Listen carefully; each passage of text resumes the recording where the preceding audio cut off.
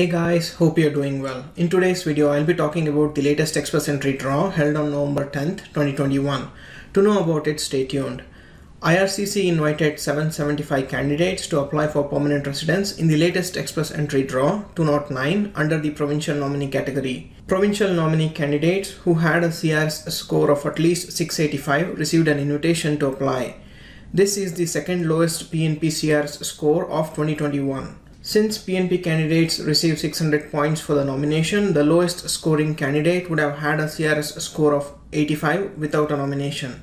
PNP draws since June have ranged from the low 730s to 760s, except for this particular draw. So far, more than 108,000 ITAs have been issued through the express entry system this year, with three more months to go. IRCC will be issuing more ITAs through this system even after meeting their target for 2021.